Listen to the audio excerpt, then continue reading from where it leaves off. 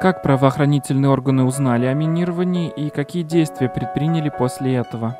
8 ноября текущего года в 14.45 из администрации поступило сообщение о телефонном звонке в администрацию о заложенном взрывном устройстве на территории администрации. По данному факту были э, направлены все экстренные службы на место происшествия, произведен осмотр здания администрации с использованием служебной собаки, которая подготовлена на поиск взрывчатых веществ, проведен осмотр места происшествия, взрывных устройств не обнаружено. В ходе оперативных мероприятий был установлен гражданин 1961 года рождения, который произвел этот звонок.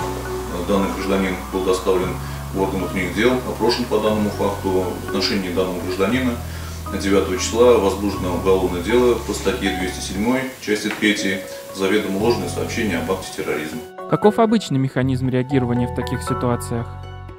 При поступлении на телефон полиции подобное сообщение о возможном обнаружении подозрительных предметов, либо об обнаружении, как предполагает, взрывного устройства, на место незамедлительно направляется а, наряд, который находится ближайший к этому месту, который утверждает или опровергает эту информацию, после чего на место выезжает следственная оперативная группа, а другие экстренные службы, МЧС, клиническая больница номер 50, также отцепляется место происшествия а, и дальше происходит обследование предмета, если он обнаружен, либо помещение, здание на предмет нахождения взрывных устройств с использованием служебно-русских собак, которые подготовлены на поиск взрывчатых веществ. Кто принимает решение об эвакуации и как в целом она проходит?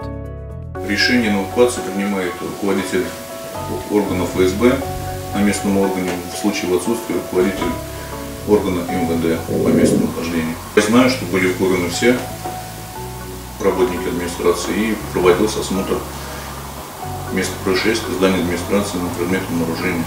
Осмотр проводился несколько часов, все кабинеты были осмотрены, в том числе с использованием служебной русской собаки. То есть факт обнаружения не подтвердился. Все кабинеты, которые там находятся, все были обследованы 100%, начиная от подвальных помещений и кончая всеми кабинетами, в том числе глава администрации. Какое наказание грозит звонившему? 8 лет лишения свободы по данной статье.